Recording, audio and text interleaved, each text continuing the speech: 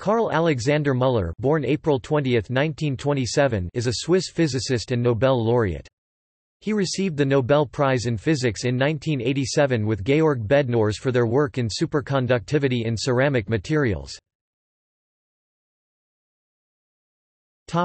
Biography Müller was born in Basel, Switzerland, on 20 April 1927, to Irma and Paul Müller.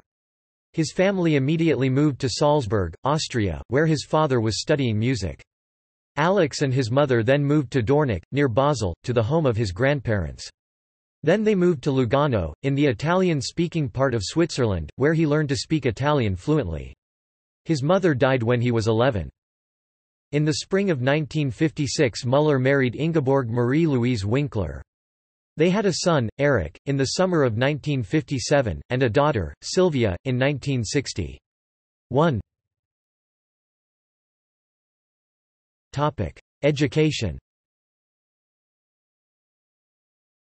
After his mother's death, Müller was sent to school at the Evangelical College in Schiers, in the eastern part of Switzerland.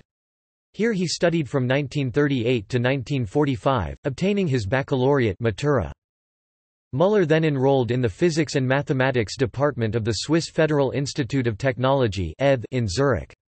He took courses by Wolfgang Pauli, who made a deep impression on him. After receiving his diploma, he worked for one year, then returned to ETH for a PhD, submitting his thesis at the end of 1957. Career Müller joined the Battelle Memorial Institute in Geneva, soon becoming the manager of a magnetic resonance group. During this time he became a lecturer at the University of Zurich. In 1963 he accepted an offer as a research staff member at the IBM Zurich Research Laboratory in Rüschlikon, where he remained until his retirement. In parallel, he maintained his affiliation with University of Zurich where he was appointed professor in 1970. From 1972 to 1985 Müller was manager of the ZRL Physics Department. In 1982 he became an IBM Fellow. He received an honorary doctorate from Technical University of Munich and University of Geneva. In 1987 before winning the Nobel Prize he got an honorary degree Laurea honoris causa in physics from the University of Pavia. Research For his undergraduate diploma work, Müller studied under G. Busch.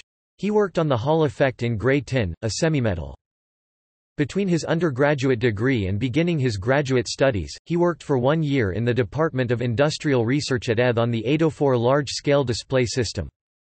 At IBM his research for almost 15 years centered on SRTO3 strontium titanate and related perovskite compounds. He studied their photochromic properties when doped with various transition metal ions, their chemical binding, ferroelectric and soft mode properties, and the critical and multicritical phenomena of their structural phase transitions.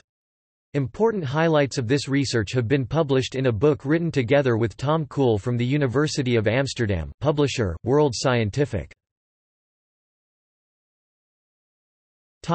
Nobel Prize-winning work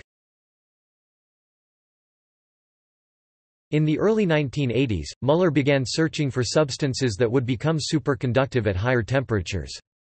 The highest critical temperature Tc attainable at that time was about 23 K. In 1983 Müller recruited Georg Bednorz to IBM, to help systematically test various oxides.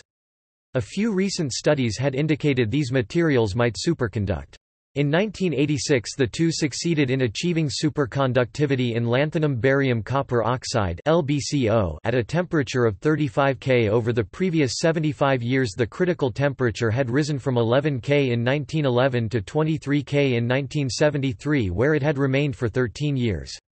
Thus 35 K was incredibly high by the prevailing standards of superconductivity research. This discovery stimulated a great deal of additional research in high-temperature superconductivity, leading to the discovery of compounds such as BSCCO TC. Topic 107K and YBCO teak. 92K They reported their discovery in the June 1986 issue of Zeitschrift für Physik B. Before the end of the year, Shoji Tanaka at the University of Tokyo and then Paul Chu at the University of Houston had each independently confirmed their result. A couple of months later Chu achieved superconductivity at 93 K in YBCO, triggering a stampede of scientific interest exemplified by the 1987 Woodstock of Physics at which Muller was a featured presenter. In 1987, Muller and Bednorz were jointly awarded the Nobel Prize in Physics the shortest time between the discovery and the prize award for any scientific Nobel. Other honors Honorary degree, University of Pavia, 1987. Honorary degree, Drive. 10, Norwegian University of Science and Technology, 1992. See also. Timeline of low-temperature technology. References. Autobiography posted at the Nobel Prize website Online Encyclopaedia Britannica biographical article. K. Alex Mueller and Tom W. Kool, Properties of perovskites and Other Oxides, World Scientific, 2010.